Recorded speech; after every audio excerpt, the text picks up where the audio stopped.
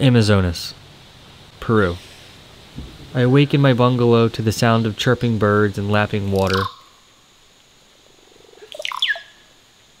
Just outside is the mighty Madre de Dios River, snaking its way through eastern Peru and ultimately terminating several hundred miles upstream in Bolivia. Part of the vast Amazon watershed, it is the main tributary serving this region of the Peruvian Amazon.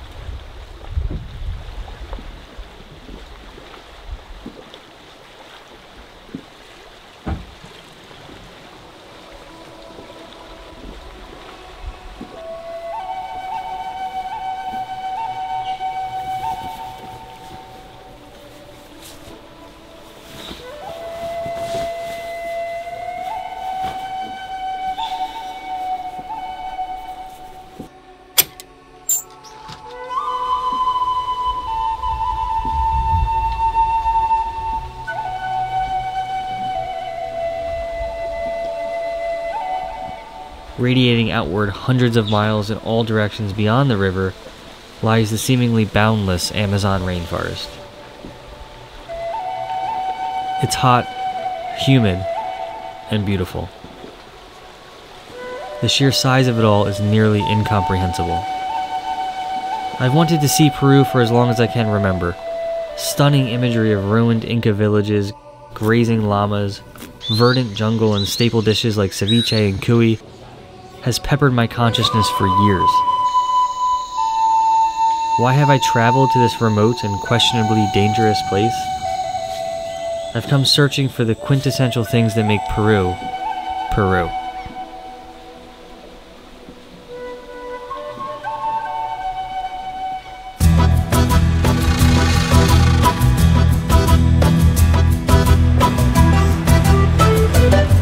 The epicenter of the mighty Inca Empire, Peru is a country rapidly advancing into the modern world, but with strong traditional roots.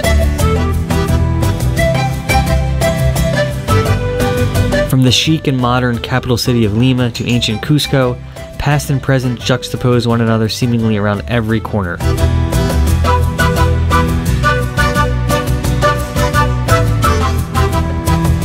Heavy mix of Spanish and indigenous influences both felt and seen in the architecture, Inca ruins, the food, and the people. Travelers and explorers have been drawn to Peru for centuries. Francisco Pizarro originally came here over 500 years ago in search of gold, ultimately crushing the Incas and claiming their empire for Spain. Centuries later, it was American explorer Hiram Bingham in search of the fabled lost Inca city of Machu Picchu. Today, Peru is a land of extreme contrasts dense triple canopy rainforest, tall snow capped mountains, vibrant, bustling cities, traditional versus modern, old versus new. This beautiful blend manifests into a vivid and colorful culture with warm people and sensational cuisine. Perhaps these contrasts were the draw for Bingham and decades of backpackers, explorers, and travelers after him. Did I find what I was searching for in Peru? Was it worth the wait? Let's find out. Welcome to Peru.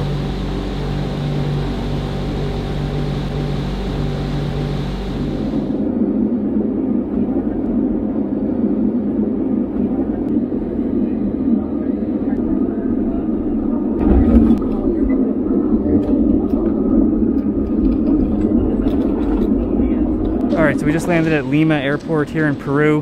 Um, super long travel day. We've been traveling. We woke up. We left New Hampshire where we live at like 2:30 this morning, and it's currently uh, 7 p.m. So uh, pretty long travel day here. Just gonna grab our bags now off the carousel. Just got some cash. Got a SIM card. We're gonna head into town. We're actually here for the night. Um, because in the morning we're heading to the Amazon. So we have to come back to the airport, get another flight in the morning, um, but we actually have, at least tonight, to explore a little bit of the neighborhood that we're staying at in Lima, which is called Miraflores, which is um, basically like the main touristy neighborhood to stay here in Lima. After grabbing our bags, we met our driver outside the terminal and headed into downtown Lima.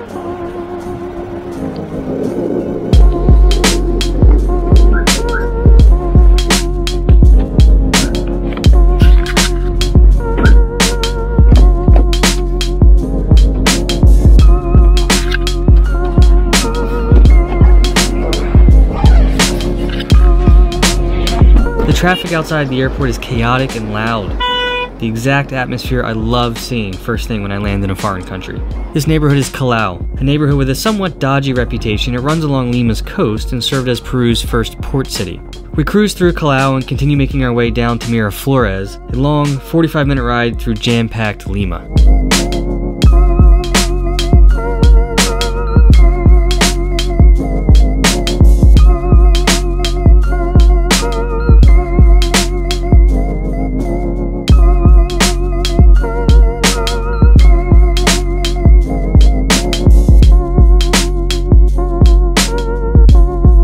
After getting to Miraflores and settling in at our hotel, we ventured out to La Canta Rana, a well-known cevicheria in Lima's trendy Barranco neighborhood.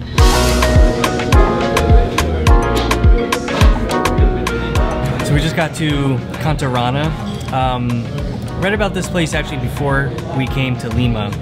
Um, it was mentioned in a couple blogs for where to get ceviche basically in Lima. So um, it's late. Ceviche here is really mainly sold during lunchtime when fish is fresh in the morning, it's fresh caught. Um, so they only have one type of ceviche left, which is pescado, which is just some type of fish, so that's what we got.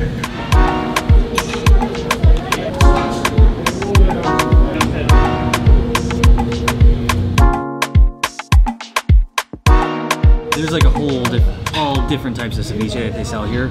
This is basically what they had left for the day. It's like almost nine o'clock at night here, um, and it's exactly what you would think, right? It's it's raw fish. I'm not sure what type of fish it is, with onion, corn, sweet potato. It's cold, obviously, and like a very healthy dose of lime.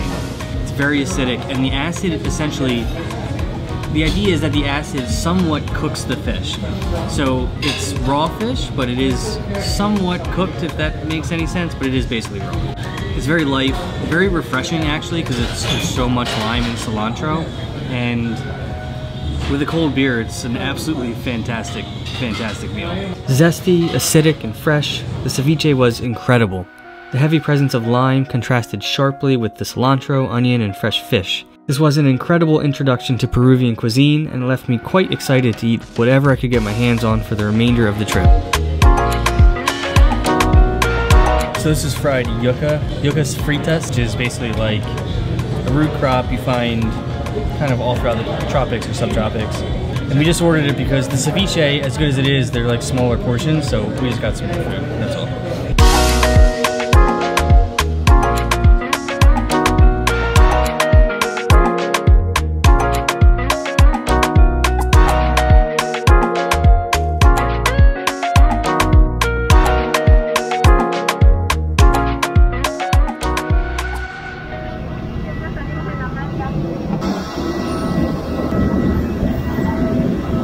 short two hour flight from Lima is the small Amazonian outpost of Puerto Maldonado.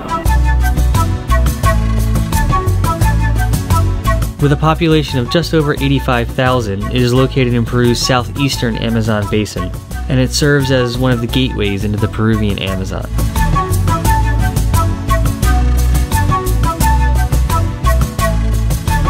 Located at the confluence of the Madre de Dios and Tambopata rivers, the main industry here is ecotourism and small scale gold mining, which is oftentimes done, of course, just under the watchful eyes of Peru's authorities. Lodges dot the shores of the Madre de Dios River, where travelers can come to explore the jungle and learn more about the flora and fauna of the region.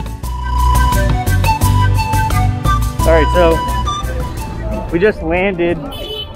Um, the airport we're at is Puerto Maldonado.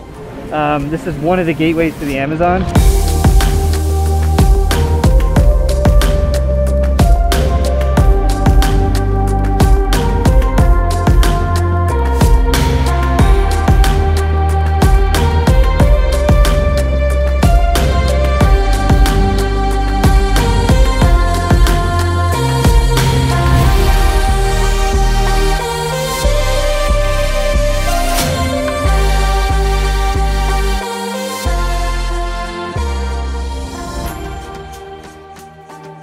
Okay, so that was, sorry, that was a little rush getting into the taxi from the airport, but all those shots you just saw were basically the town of Puerto Maldonado. This is one of the ways to get into the Peruvian Amazon. The other is a, Iquitos, which is in the north of the country.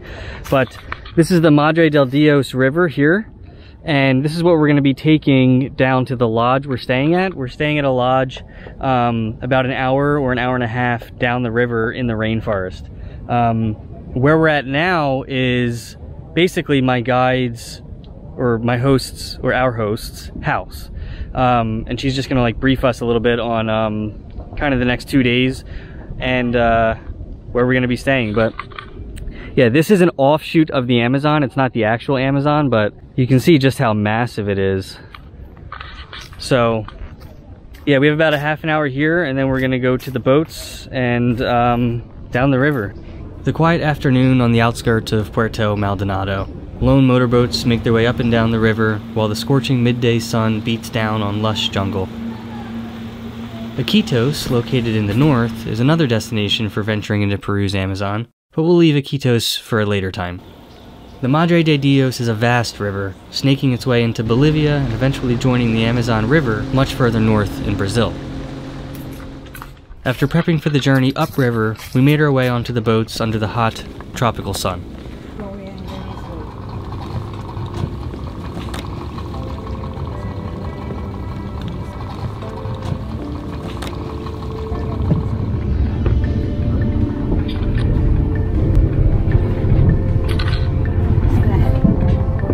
The journey upriver into Peru's jungle is an incredible experience.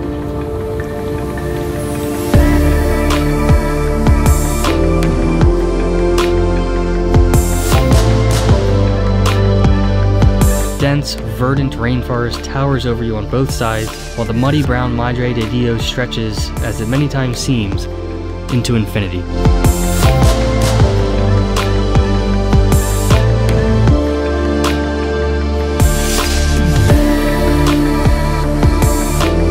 breathe in the humid, dense air under the riverboat's canopy, watching other boats journey up and down river alongside you. The only word I can use to describe this wild and untamed place is beautiful.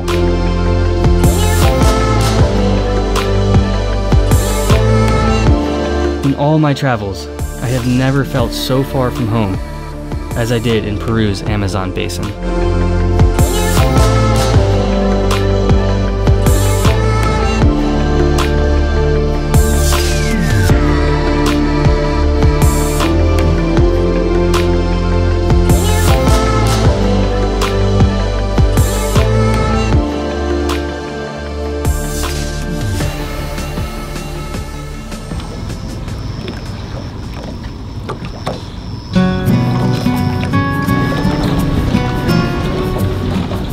Arriving at our lodge, we slowed and docked the riverboat.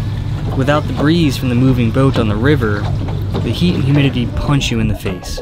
Water gently laps against the side of the boat, and aside from the river and the birds, it's quiet.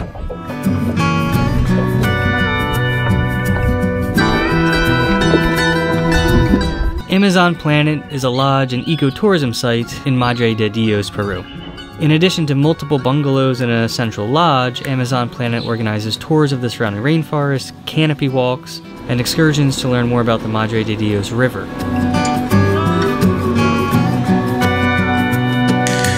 Now, I know what a lot of you will probably say. Ecotourism, that's not travel, but listen to me. Amazon Planet and many other lodges in this area and other regions of the Peruvian Amazon are diligently working to conserve what remains of Peru's rainforest. And a large portion of the proceeds from your stay go directly into wildlife and forest conservation. If places like this didn't exist, if people simply didn't care, the rainforest would quickly slip into extinction within a few generations. Additionally, you can find places to suit your desired experience. Ayahuasca ceremony? Visiting local indigenous villages? Yep, that can be organized too. So look, say what you will, but all I can say is this. Choose your stay wisely when visiting the Amazon. Alright, so enough of that.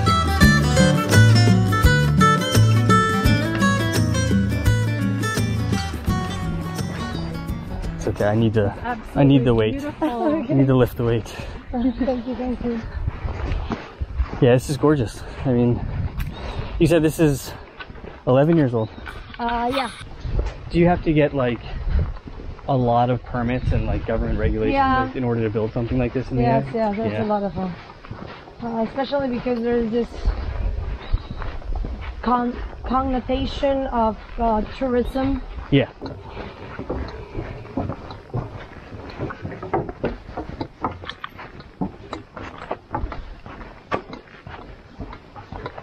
Okay, number four, this is your bungalow. All right, guys. So we just got to um, our jungle lodge. We're staying at a place called Amazon Planet. There are a lot of lodges up and down um, the Madre de Dios, which is the river we're staying on. Also the Tambopata River, which um, extends as a branch off of the Madre de Dios. Um, but this is all Amazonian rainforest, Peruvian Amazonian rainforest. Just got to our lodge and ch- check this place out. This is just like so cool. There are lodges that kind of dot the whole area, and there's the river, which is what our lodge looks over. I think there's actually a storm coming in now, and you can hear all kinds of just. What is that? I don't. Oh wow, I've never heard that sound before. There's like all kinds of animals in the jungle that's literally right there. What is that?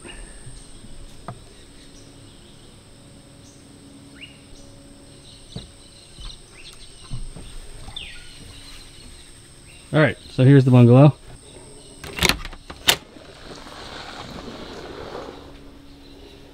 So,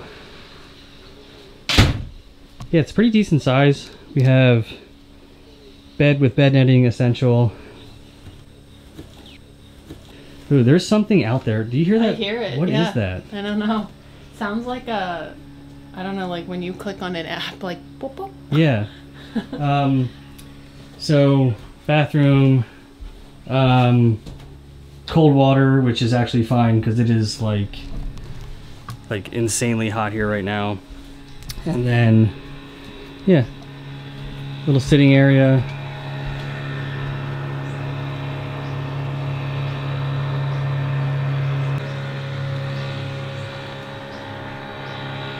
It opens up onto this like little patio.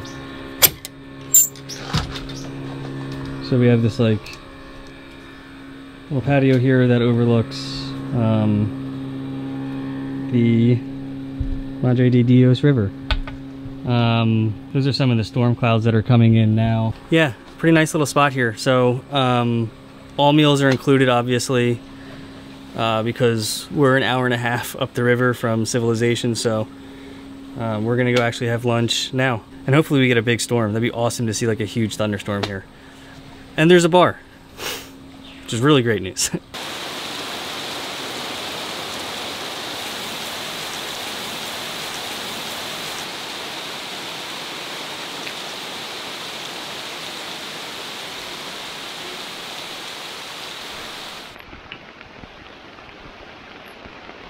These are all tunnels leading up to that termite nest right there that they build.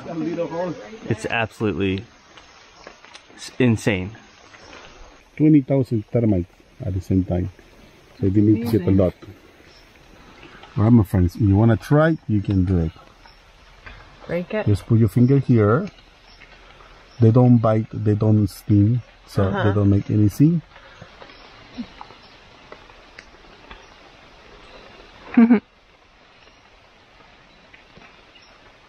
What's it taste like? It tastes like mint. It really does. It does. It does. It- The mint is the saliva. And it's my finger too. It's minty. It comes from the saliva because the termite to protect the colony or to protect what somebody eating, Yeah. they spit it out this saliva to the ice predator. It's not bad actually. Of course, you want to get some proteins, you need to Yeah. get a lot, a of, lot them. of them. Along with jungle excursions, we did a walk along a suspension bridge to a height of about 45 meters off the ground for a first-hand view of the forest canopy.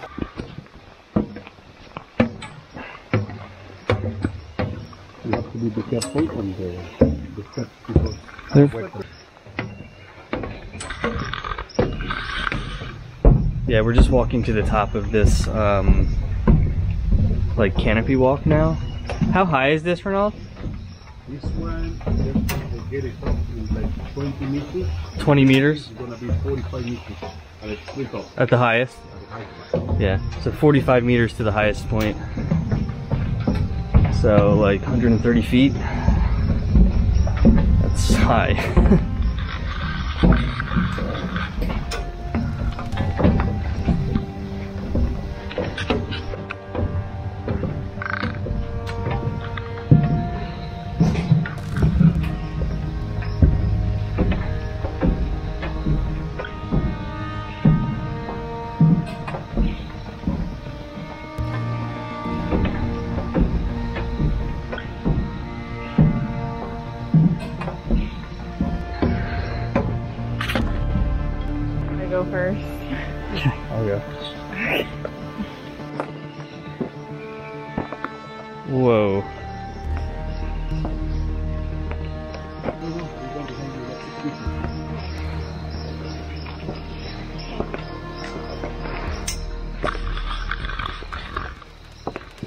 This thing's shaking like crazy.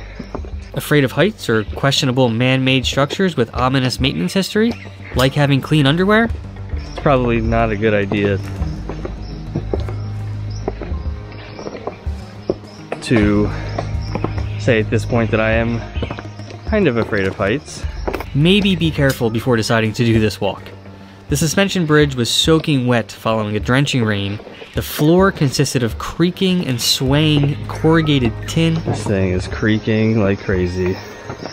And the side walls disconcertedly became lower the higher we went.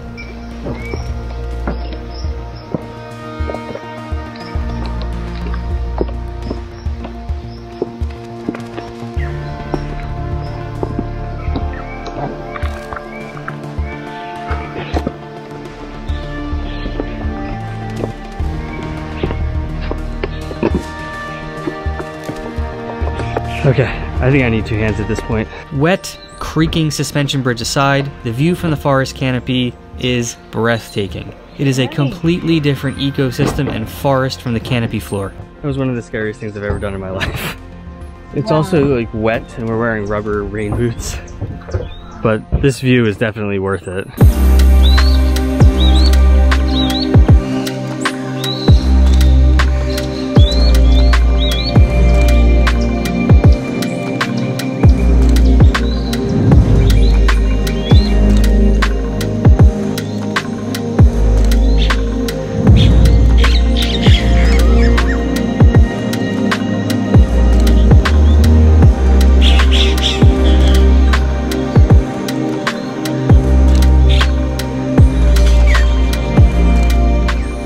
So we just made it to the top of this um, basically canopy walk. We're sitting at, or standing at a basically, I think 45 meters above the canopy or the forest floor, so like 120, 130 feet. Um, and you get these like amazing 360 degree views of the canopy layer, and you can hear all the birds, and you can see we we've seen already quite a few bird species. Birds of paradise, parrots, and innumerable other species of bird are easily visible and simply gorgeous to see in person. After spending a while in the treetops, we made our way back down the Amazon's scariest suspension bridge. An incredible experience for sure, but one trip up the bridge was enough for me. I'm literally shaking right now. Wow.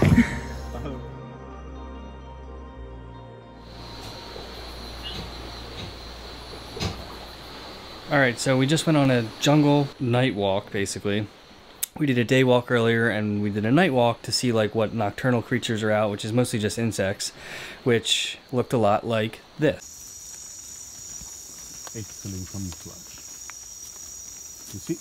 Oh, it's moving inside. It's another cricket.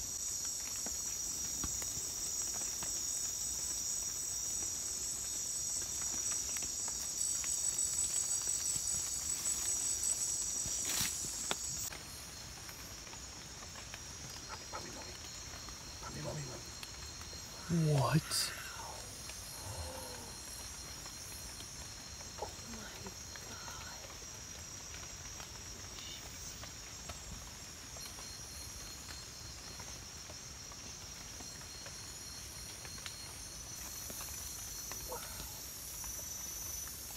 Mommy doesn't play. No. So we just finished up dinner. So far, Peruvian Amazon has been absolutely awesome. Um, the place we're staying is fantastic. Um, we've already seen a bunch of cool stuff. So I will see you in the morning for our second day in the Amazon.